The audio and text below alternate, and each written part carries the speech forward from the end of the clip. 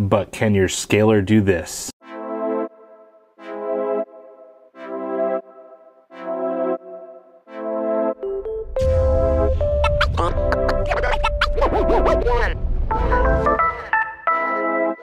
Rich here from the RCNetwork.com, and today we're going to be doing an unboxing of the Axial UMG 10 6x6. Yes, I did say 6x6. Now, I've been looking at this thing for a little while now, and I never thought I'd ever get a 6x6, but I kept looking at it, and I looked at the Traxxas version, and I kept looking at this one, and I picked up a 6x6. Now, of course, in this video, we're going to be taking a look at what you get inside of the box here and just some of my opinions of this one maybe versus the Traxxas version. Now, I'm not too fond of that Mercedes look of the Traxxas version, uh, but I really kind of like this UMG 10 or Unimog style. I dig that it's a little bit longer wheelbase than the standard UMG 10, the 4x4, but this 6x6, it just, it just kept growing on me. And once I saw the independent kind of rear axles here, it spoke to me a little bit more than just the standard 6x6s that you do see out there. Now, I think this was was actually the first released one. However, I believe Traxxas actually beat Axial to market. So this was released uh, around Proline by the Fire event, and of course uh, it got out a little bit later on in the year, right after the Traxxas TRX6 came out. So a quick tour around the box. Of course, the military style UMG 10. This looks pretty cool. I mean, I've got to say, I've already got it out of the box, so there's there's nothing inside of here. Uh, but looking at the box art, it just looks like it can destroy things, which I definitely like. Taking a look at some of the bells and whistles that actually come on this UMG 10 6x6, you get some pretty cool stuff. Now, Axial has been known to kind of not equip RTRs all that well. And I've seen a little bit of a change lately, especially with the Capra that they released. Um, but on this one, they give you some pretty cool things, like the tandem or axle, hinged body system, chassis mounted servo, of course, all metal gears. You do have a molded plastic grille and some scale details, so we'll go over a little bit later on the body. Um, extended frame rails uh, to get that 6x6 look. Two piece bed design, which is another really cool thing. Spare tire also. You get some LED lights both front and rear, although I'm a little bit bummed that the actual headlights are not lighted. And of course, you do have the AR44 Universal Axle Set. Spektrum and Horizon has kind of taken over all of the electronics now on axial vehicles. You do have the STX2 transmitter, a Dynamite ESC, which is kind of similar to the one previous, the AE5L. The L means takes a lighting system, does come with drag brake. Of course, a Spektrum servo now is featured on axial rigs. I think previous it was Tactic. I think this might be the first vehicle uh, that has actually come with a Spektrum servo. And then finally, the SRX 200 receiver to mate up with the STX 2.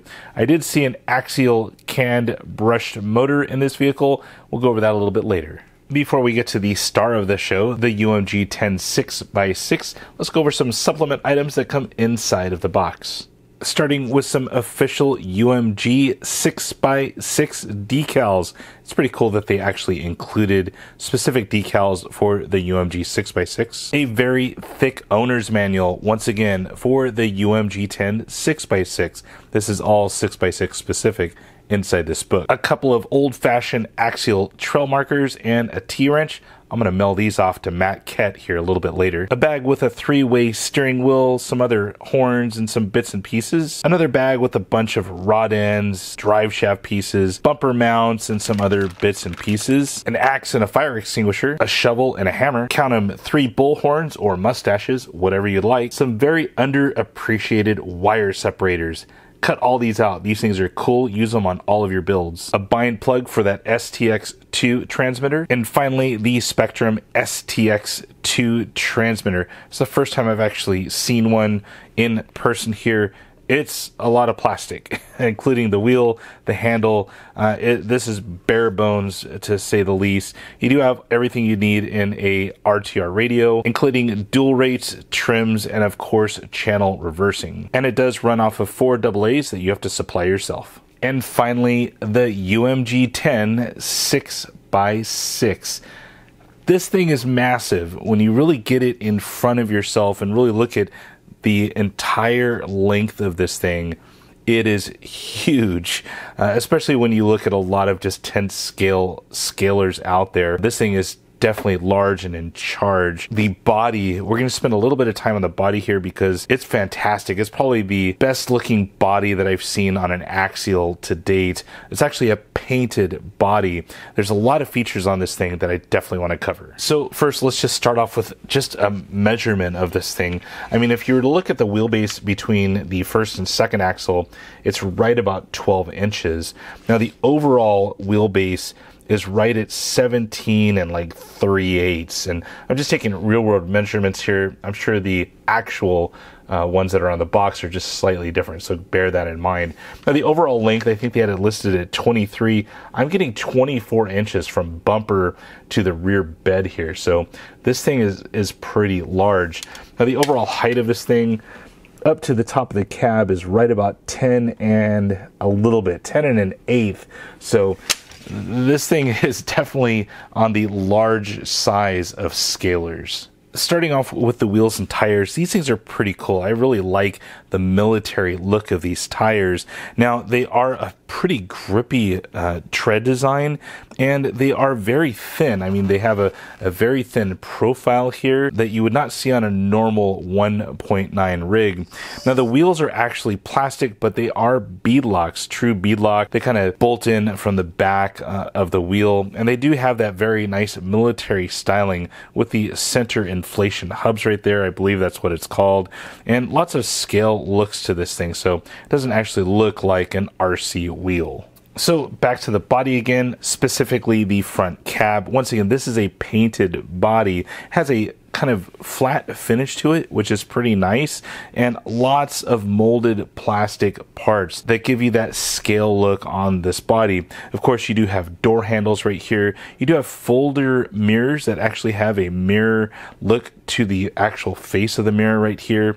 You do have windshield wipers. You do have LED light buckets here on the headlights. However, no LEDs are included on these particular lights. You do have a molded plastic grill with some other light light inserts, although these are not functioning lights that I could tell. And you do have a plastic radiator that sits behind the grill, so nice added touches. The plastic bumper is affixed to the chassis, and you do have working LED lights inside of that bumper and a fairlead hole. Flipping it to the other side, you do have that military style snorkel right here on the passenger side or the right side of the vehicle. Moving on to the bed, you do have a full drop bed and you do have some parts here that just allow for the shock hoops. We do have a molded plastic cage and an included spare tire that's fully functional. This isn't just for looks.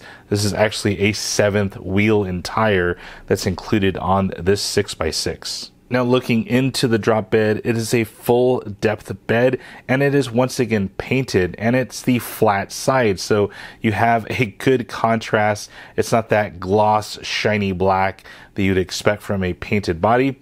Nice details that Axial did on this one. Finally, on the rear tailgate, you do get two more red LED lights for your taillights. You do have a little license plate holder here for that great UMG 6x6 license plate that's on the decal sheet. And then finally, no other bumper back here on the back 40 yards of this vehicle. Getting the body out of the way is pretty easy. Simply just pull these two body clips on the underside of the chassis here, which has once again, another nice touch. These things pop out and you're able to go ahead and lift up the entire body off the rig. It's hinged on the rear part of the chassis rails. Nice touch once again. With everything flipped on its side so I can really show you guys some of the details of this body on the underside, you can definitely see the radiator here that pokes through that front grille, the body mounts right here that mount to the chassis, the headlight buckets right there. You do have different supporting pieces in here just to support some of the additional features. And of course, you do have these kind of Tamiya style body clips right here holding on the door handles and of course those nice mirrors. Further down here on the bed, you have have a plastic structure here for the bed, just how it hinges on to the rear bumper mount here on the chassis rails. And this bed is all bolted in together into the sides of the bed. So th- this thing is highly detailed. And I mean, literally, this is probably like a $150 body if you really take into effect all the work that went into it to paint it, all the, the molding on it, and the trims. And it's a two piece design with the cab being one piece and the bed being another piece with actually two pieces all bolted together. Now that we spent about a half hour on the body, let's take a look at the chassis. Now this is pretty much a typical SCX 10.2 RTR chassis, except they just happen to bolt on an extra set of wheels and tires at the back of this thing. So uh, if you take that into effect, it's pretty much standard that we've seen the last couple of years on the axial RTRs. Now, once again, starting all the way up front, you do have that molded plastic bumper with the LEDs pre-installed, which is a nice touch. I wish I would have seen those in the LED light buckets, but I understand why they didn't do it. If you were to flip this thing over, they'd be attached and it would be just hard to deal with as far as all of the wiring. Now, further on back here, you do have the battery tray here that can fit standard stick style battery packs from 2S to 3S capable. On down the line, you do have the Spektrum S605 servo. Now, this does have quite a bit of torque at 161 ounce inches, but the transit time is a little slow at 0.24 seconds. Although it is waterproof, it does have plastic gears and it is an analog servo. All six shocks on this UMG 6x6 are plastic bodied axial shocks, the piggyback kind of reservoir style shocks. They do feel pretty good, but it would have been nice to see aluminum bodied shocks on here even without the reservoir, but this will definitely get you started on day one. In the center of the UMG 6x6, you do have the waterproof receiver tray right here, and you do have the Dynamite ESC. This is kind of like an AE5L ESC with drag brake. It's capable of anywhere from 2S to 3S, and it does have a jumper box right here. Jumper 1 provides just a simple choice between LiPo or nickel metal hydride, and the other one is for your drag brake settings. It does come stock with an IC3 connector, and it is a waterproof ESC. Not mentioned on the box is the Axial 35 turn brushed motor. These are pretty much a great starter motor to get you started and you can run 3S on these things all day long. Flipping it on its side, this is where all the magic happens on a 6x6. Just when you thought you had added costs from your 4x4 scaler, we'll add on a whole nother axle, and there you go. Once again, you do have a 4-link, 4-link, and 3-link with Panhard as far as the setup. These are all steel links, and they're going into the traditional plastic rod ends that you'd find on traditional axial vehicles. As far as the count on the amount of links, you do have four, four, three, and three. That gives you a total of 14 links. That's a lot of links. If we start looking at drive shafts, you do have the tiny one back here. You do have a center drive shaft and a front drive shaft. So lots of drive shafts, lots of links. You do have six shocks, six wheels and tires. There's a lot going on underneath this thing, but that's where all the magic happens. But can your scaler do this?